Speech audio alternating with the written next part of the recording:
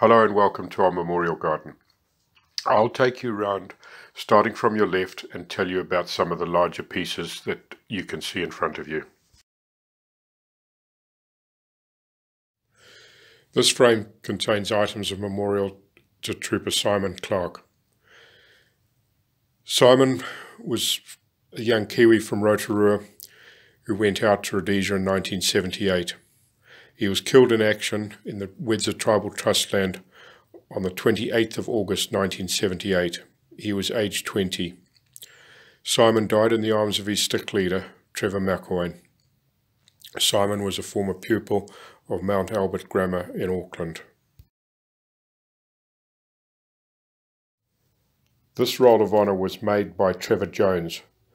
It formerly hung in the Sergeants and Warrant Officers Mess of the 4th Manicaland Battalion Rhodesia Regiment.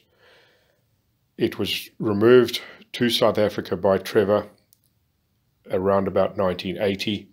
Trevor subsequently donated it to the Rhodesian Services Association in the early 2000s. You will note the names of the three casualties recorded at the bottom of the Roll of Honour.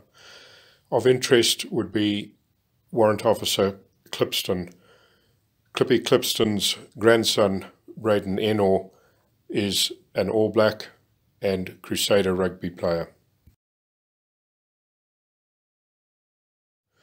This Roll of Honour is from the 5th Battalion Rhodesia Regiment. It is made from Rhodesian black granite and weighs about 120 kilos. In 1980, officers of the unit laid the Roll of Honour up in the Mabelreign Club in Harare. It subsequently came under risk from members of the club and it was removed by Arv Roth, former member of the Rhodesian SAS, to his home residence. He subsequently contacted the Rhodesian Services Association offering it to us.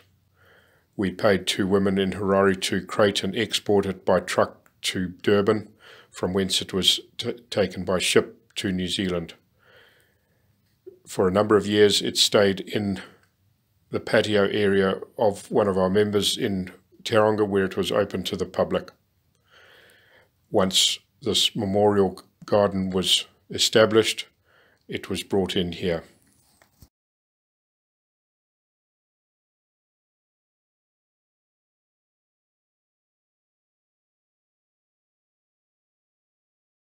This is the full 4th Manicaland Battalion Rhodesia Regiment Roll of Honour Board.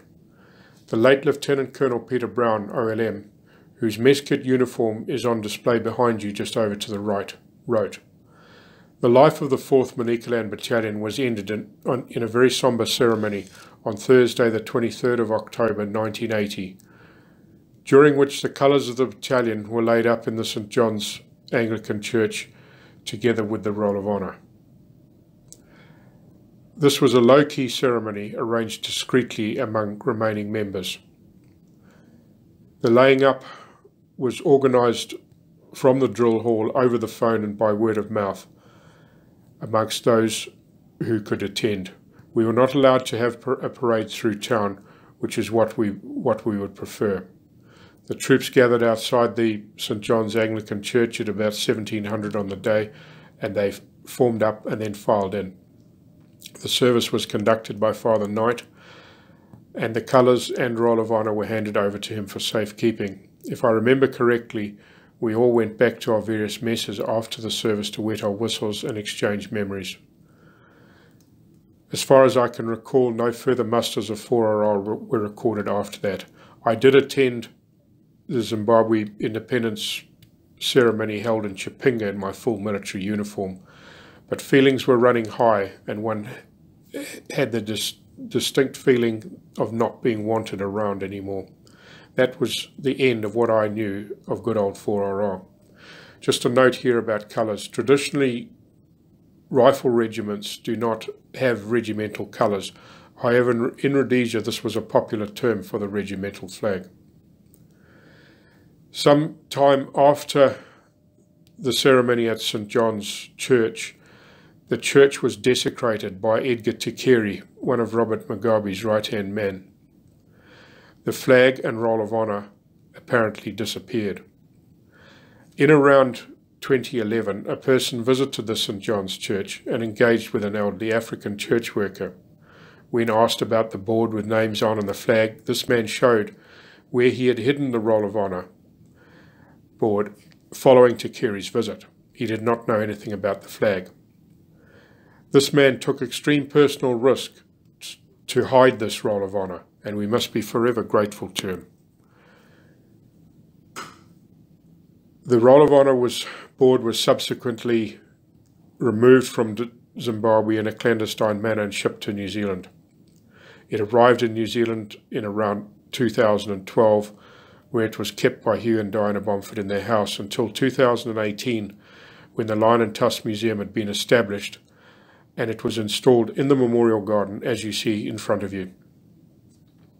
On Thursday, the 6th of July 2023, this audio-visual display that you're watching was installed for the first time and put to use. This section of the audio reported that the unit flag could not be located. The very next day, a package arrived at the, the museum. It had been posted from the UK three months prior.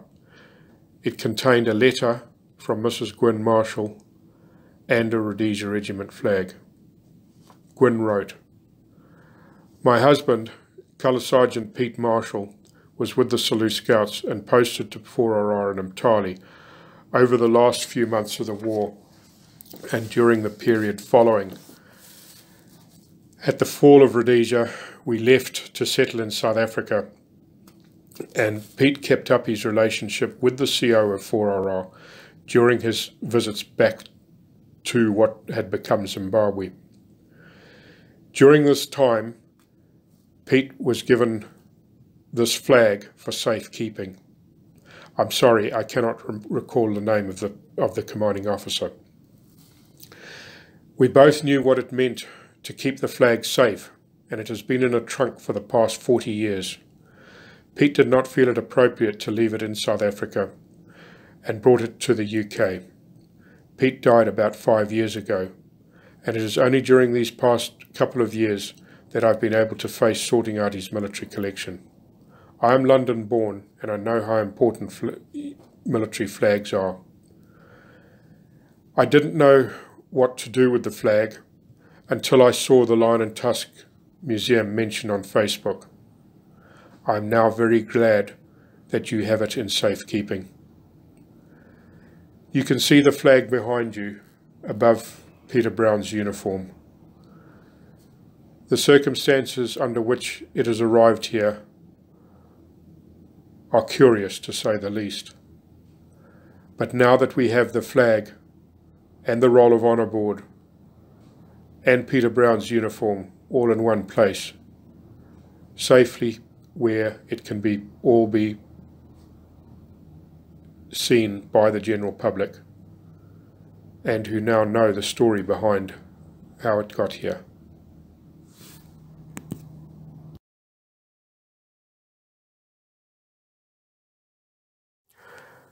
This is the 8th Battalion Rhodesia Regiment Roll of Honour. It found its way to the UK and in 2018 Martin Hudson offered it to the Lion and Tusk Museum. Association members Bev and Gary Mooney kindly offered to bring it back from the UK during their trip to watch the All Blacks tour. They met up with Martin and the Roll of Honour exceeded the size and weight that had been envisaged. Their first challenge was to get back onto the tube train together with this large unwieldy package. Somebody on the train helped them put it into a storage compartment and all went well. They got off the train back in London and needed a taxi to get back to their hotel. That all the taxis in the rank were little bubble taxis. Fortunately, a larger taxi drove up just as they were wondering what to do next, so that was another piece of luck for them. The next piece of luck for them was when they arrived back in New Zealand, the Auckland airport arrival lounge was full to expanding out onto the tarmac almost. They joined the back of the queue expecting a long wait. Not, not long after joining the queue, a customs officer tapped Gary on the shoulder and he said to Gary, I know what that is, come with me. Gary wasn't too sure about this and went with the customs officer. It turned out that the customs officer somehow knew that this was a roll of honour that was coming to New Zealand and he put it through the x-ray machine and gave Gary the, the, the pass to go. So luck has followed the people who have been responsible for bringing this roll of honour to the, to the Lion and Tusk Museum and we thank them for what they've done.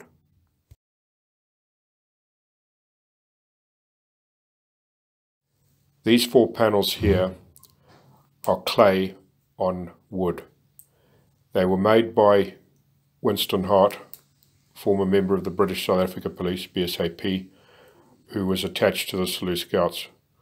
Winston is a trained sculptor and over a long period of time he sculpted these panels which were subsequently used to make molds from which bronze panels were made for the memorial of the British South Africa Police that is in the Arboretum in the United Kingdom. Winston kindly donated these panels to the Lion and Tusk Museum where you, where you can see them here now.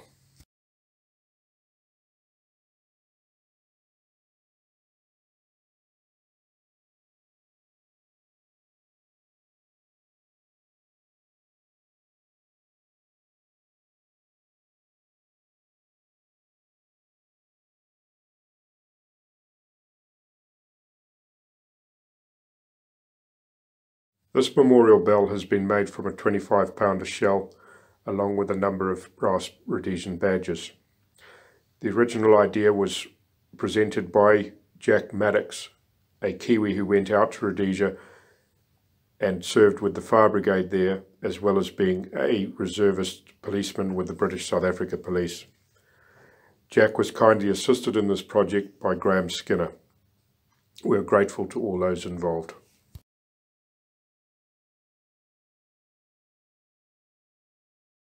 Thank you for visiting the Lion and Tusk Museum.